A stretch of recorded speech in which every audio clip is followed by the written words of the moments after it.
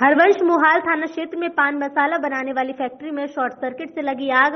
होलागंज की तंग गलियाँ होने के कारण फायर ब्रिगेड की गाड़ियों को आने में हो रही थी काफ़ी दिक्कत। साथ ही बेसमेंट होने के कारण आग को बुझाने में फायर ब्रिगेड के लोगों को आग बुझाने में काफ़ी दिक्कतों का सामना करना पड़ा। फायर ब्रिगेड की दो गाड़ी मौके पर पहुंचकर क्षेत्र की जनता की मदद से आग पर पाया गया काबू। कानपुर से संवाददाता जय चौधरी की रिपोर्ट। सर, कहाँ लगी थी और क्या है इसमें अपडेट हमारे फायर स्टेशन लाड़सो को सूचना प्राप्त हुई कि गुलागंज मार्केट में आग लगी हुई है तो मौके पर गाड़ी लेकर के आए। तो हमने देखा कि बेसमेंट है, गुलागंज मार्केट में शिव प्रसाद गुप्ता का। बेसमेंट में ये पाँच सुपारी का कत्था का और कुछ केमिकल से रखे हुए हैं और इसके साथ साथ उसमें कुछ अपना मसाला से कुछ सामान रखा हुआ है। उसी में आग लगी हुई थी भयंकर आग लगी हुई है और उसके बाद फिर आग को कंट्रोल किया जा रहा है।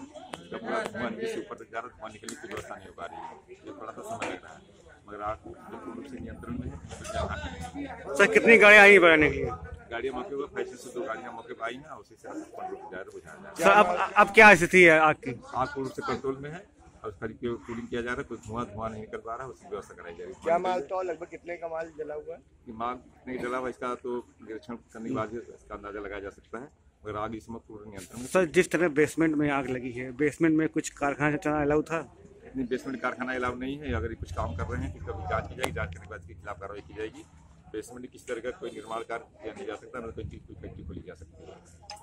मैं अमित कुमार नोहत्रा बबलू पार्षद बलोच वार्ड छिहत्तर से। आज सुबह सुबह जानकारी प्राप्त हुई शिव प्रसाद जी के यहाँ बिल्डिंग बेसमेंट में आग लग गई है। अब क्या कारण था? हो सकता शॉर्ट सर्किट हो या किसी अन्य के कारण की वजह से आग लगी वहाँ पे।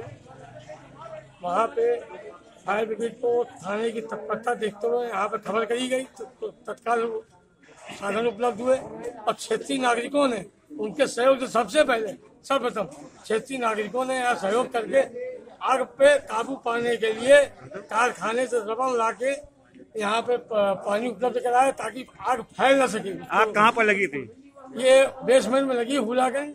शिव प्रसाद जी गुप्ता इंसल्स हैं। किस किसा काम होता है ये? इनके यहाँ सुगंधी का काम होता है। ये आपके केमिकल एमिकल का? कोई केमिकल स्टार हाँ, पान मसाला वगैरह। ये पान मसाला स्टार वगैरह का काम होता है इनके। अब क्या हाल है आग के? अब यहाँ पे प्रयास से फायर ब्रिगेड के कर्मचारियों और थाना अलबतमार और क्षेत्रीय नागरिकों के सहयोग से आग पर काबू पा लिया गया। एक बड़ी दुर्घटना घटित होने से इस क्षेत्र के अंदर बची है।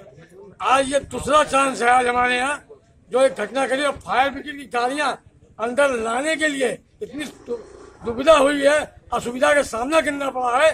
यहाँ पे तमाम को पता नहीं जिनकी जिनकी कारें गाड़ियाँ खड़ी हैं वो इस रोड में जाम करने के कोई भी अगर बड़ी दुर्घटना होती है तो फायर ब्रिगेड गाड़ी या कोई भी काम हो नहीं सकता है।